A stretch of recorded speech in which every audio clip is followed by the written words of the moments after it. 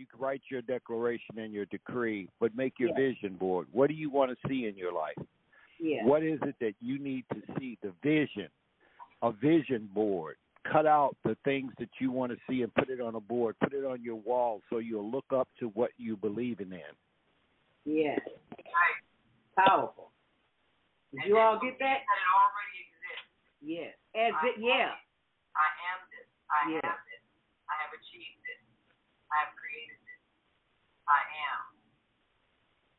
Get your vision board. If you don't do anything else today, do that. And that's from Baba Kwame Sunhorse. I need to know. I need to go update mine too. And put these T-shirts on your uh, vision board because these T-shirts are affirmations to remind you of your greatness. So every time you look at your, take a picture on your cell phone, take post that because you're posting positivity. And there's a ton of them on there. Right. And remember, they're all tax deductible through the higherlearningnetwork.org. Yes, go ahead, Baba and Kwame. what you and what you wearing on that T-shirt, the words on there acclimates with the water in your body, and it energizes you even just wearing it. If you understand what you're wearing, Wow. the same thing that Emoto shows us with water. When you put the word love, it will crystalline the water to a higher frequency, and you put on that shirt and you put on what your body needs, the energy from those words you wear. Oh, that's a good point. Oh, Baba Kwame, Because can you? what you wear when you're wearing words on your on your body, on your clothing, those are energy that Part- you put Can I? I didn't hear you. Okay, Baba Kwame, that was powerful, and I, it was so powerful. I need you to say it again.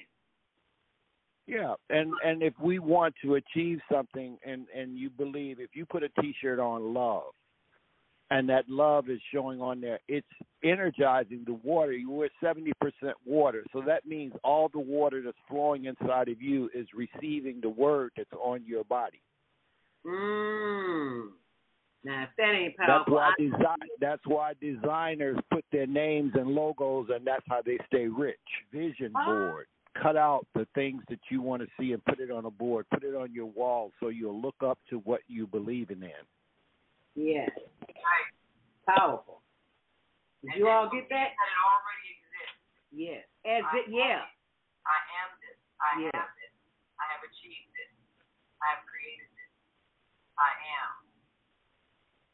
Get your vision board. If you don't do anything else today, do that. And that's from Baba Kwame Sunhorse. I need to know. I need to go update mine too.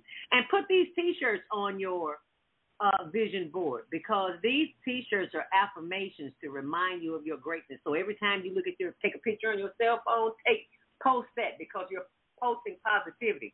And there's a ton of them on there. Right. And remember, they're all tax And- deductible through the higherlearningnetwork.org. Yes, go ahead, Baba And Kwame. what you and what you're wearing on that T-shirt, the words on there acclimates with the water in your body, and it energizes you even just wearing it. If you understand what you're wearing.